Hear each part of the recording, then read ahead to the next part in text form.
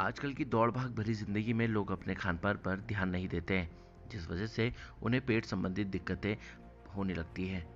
जिस कारण से कई लोग तो अपना घरेलू उपचार तो कई लोग अस्पतालों के चक्कर काटते रहते हैं। पेट संबंधित बीमारी जैसे गैस, कब्ज, अपच आदि होने के साथ उन्हें कुछ ऐसे लक्षण भी देखने को मिलते हैं, जिसमें उनके सिर दर्द, मुँह में दाने, जीभ में छाले भी देखे जाते हैं। अगर आपको भी इन सभी चीज़ों से बचना है तो आप योग के कुछ आसनों को करके इन सभी चीज़ों से छुटकारा पा सकते हैं। इसको लेकर हमने योग के ट्रेनर अमितेश सिंह से खास बातचीत की। उन्होंने इसको लेकर क्या कुछ कहा, आइए हम आपको वो सुनाते हैं। जी, बिल्कुल।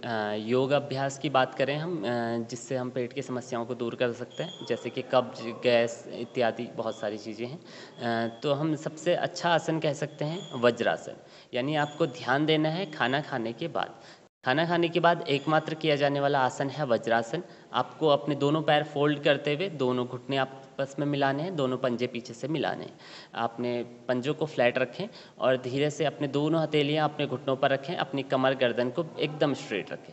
खाने के बाद आप इसको दो से तीन मिनट तक कर सकते हैं, जिससे आपका पाचन बिल्कुल स्वस्थ होगा और आपका खाना प्रॉपरली पचेगा। और इसके बाद हम बात करते हैं पवन मुक्तासन की, दूसरा आसन। पवन मुक्तासन जैसे कि इसके नाम से प्रतीत होता है कि आपकी पेट की जो भी गैस है, उन्हें ये कंट्रोल पर रखता है। और गैस की समस्या आपको बिल्कुल नहीं होगी और कब्ज की समस्या भी आपको बिल्कुल नहीं होगी। पवन मुक्तासन करने के लिए धीरे से अपनी पीठ के बल लेट जाते हैं। अपने दोनों घुटनों को लॉक करें मोड़ते हुए, अपनी दोनों हथेलियों से।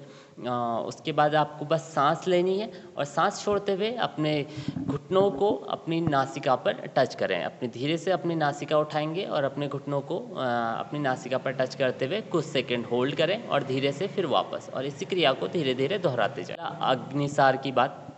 अग्निसार जैसे कि इसके नाम से भी प्रतीत होता है। अग्नि यानी आपकी जठराग्नि, आपकी पेट की अग्नि को यह नॉर्मल या न्यूट्रल करता है। तो इसके लिए हम क्या करते हैं, अग्निसार करने के लिए आपको बस श्वास भरनी है। आप किसी भी स्थिति पर बैठें अगर आप पद्मासन लगा के बैठ सकते हैं तो बहुत अच्छी बात है, वरना आप सुखासन पर भी बैठ सकते हैं। आपको धीरे से अपने दोनों हाथ घुटनों पर रखने सांस भरनी है, सांस छोड़ते हुए आप धीरे से जालंधर बंद लगाएँ और पूरी तरह से आपका पेट जब खाली हो जाता है सांस पूरी तरह से बाहर निकल जाती है तो आपको अपने पेट का चालन करना है, अंदर और बाहर, अपनी नाभि को अपने स्पाइन तक टच करते जाना है। जी, बिल्कुल। आप रोज़ाना इन आसनों का अभ्यास कर सकते हैं। वज्रासन का अभ्यास सभी को प्रतिदिन करना चाहिए। बस जिनके जॉइंट पेन है, यानी घुटनों में दर्द ज़्यादा रहती है, जो ज़मीन पर नहीं बैठ पाते, वो अपने पैर के नीचे पे तकिया लगा के वज्रासन का अभ्यास कर सकते हैं। बाकी सभी आसनों को आप कर सकते हैं। बस हाई बीपी पर ध्यान देना चाहिए। कपाल भाती, अग्निसार, ये आपकी एनर्जी को अंदर से ज़्यादा बढ़ाते हैं। तो इस पर हमें ध्यान देना चाहिए।